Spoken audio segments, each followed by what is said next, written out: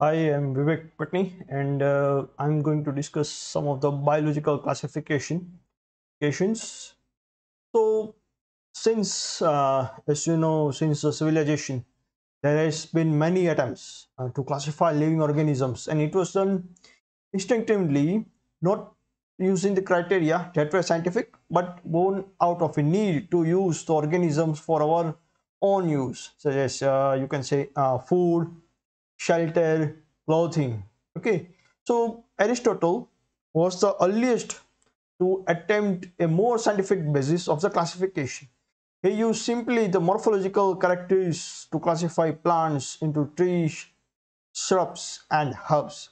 And he also divided animals into two groups okay uh, which are red blood cells and and those that did not okay and some biologists classified organisms into plants and animals scientists such as uh, ernest haeckel robert whittaker and carl woese were some biologists who attempted a broader system of classification among these the five kingdom classification proposed by robert whittaker stood out and is widely used so starting with the first uh, system uh, which was uh, developed which was uh, developed by Linnaeus. It's also known as a two kingdom classification. He divided into two types, two kingdoms, Plantae and Animalia. Uh, the entire world, living world, was first time broadly divided into plants and animals by the scientist Carolus Linnaeus. He classified all the organisms into two kingdoms based on their nutrition and locomotion and this classification was based on the presence or absence of the chlorophyll molecule and later on they were renamed kingdom Plantae kingdom animalia. There are some limitations so there is no specific distinction between uh, prokaryotes and eukaryotes or you can say uh, unicellular or multicellular photosynthetic ones and non-photosynthetic ones. There are some organisms which neither fall into plant nor animals, such as uh, lichens. Okay, and organisms such as viruses were not included in any of these kingdoms. And this classification also did not indicate any evolutionary relationship between plants and animals.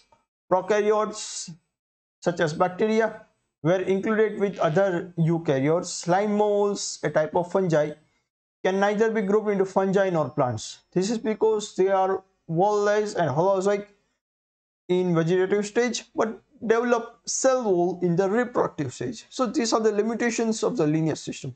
So I request all viewers to subscribe uh, my channel and also like the video and share this video with your friends and also download the Science EduTech app from the Google Play Store. Okay, if you want to practice the tests as well as if you want to check out this PowerPoint presentation. So moving forward with the next one, three kingdom classification.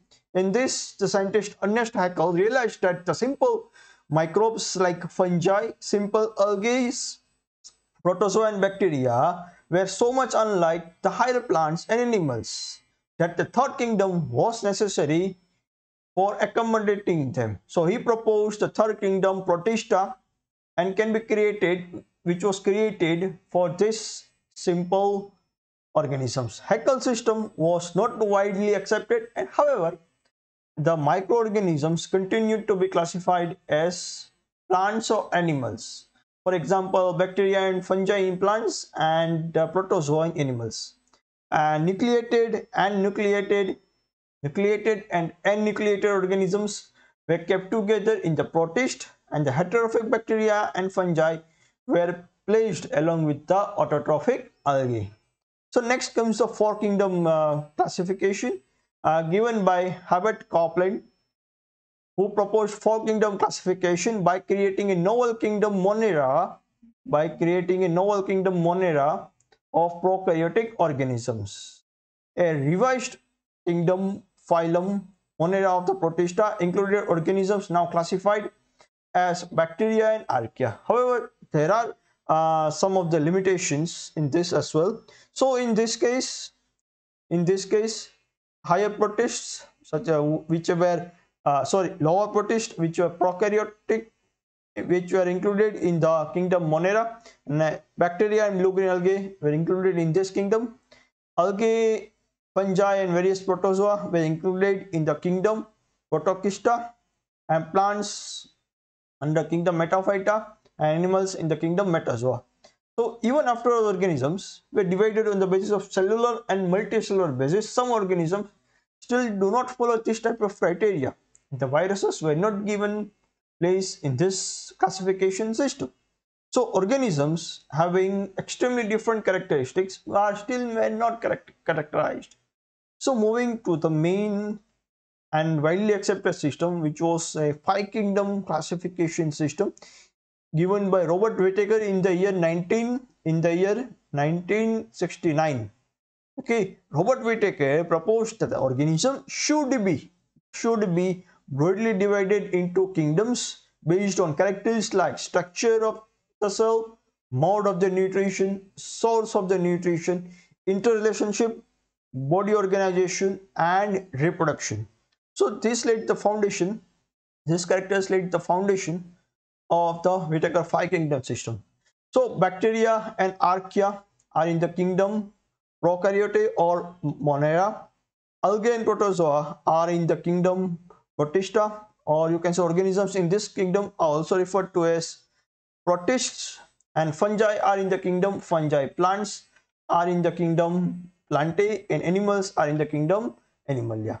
So basically basically this whole classification system when was designed was kept in mind with the complexity of the cell such as unicellular or you can say multicellulars or eukaryotic prokaryotic ones. Okay? So starting with uh, this one kingdom monera where all of them were prokaryotes. Okay? Simpler uh, forms moving to the eukaryotes in which mostly uh, unicellular were included and the complexity of the organism as I told you it's they are unicellular. He further classified gave the kingdom on the basis of nutrition such as kingdom plantae where autotrophy and photosynthesis heterotrophic absorption in the case of kingdom fungi and the heterotrophy ingestion type in the case of kingdom animalia. Still uh, there were some limitations. Some scientists do not agree that the algae protozoa should be kept into the same kingdom. And the distinction between the unicellular and the multicellular organisms is not possible in the case of algae in this system of classification. And each group has many diversities and that is difficult to keep them together. For example, Monera and Protista contain both world and wall-less organisms as well as photosynthetic and non-photosynthetic organisms, cellular or you can say filamentous. Still, viruses are not included and the archaebacteria basically differ from the other bacteria and mycoplasma are quite different for bacteria where they have been long placed with the prokaryotes. Symbiotic associations were not considered in this classification system. For example, lichens are organisms which are formed by symbiotic association between fungi and algae. But uh, uh, one can, I think, predict the direction of the evolution, direction of the evolution in these classification systems. Okay uh, i will discuss more in the next video of the whittaker five kingdom classification system. Thank you. Please download the science edutech app from the google play store and kindly subscribe my youtube channel and also share with your friends. And also click on bell notification icon. Thank you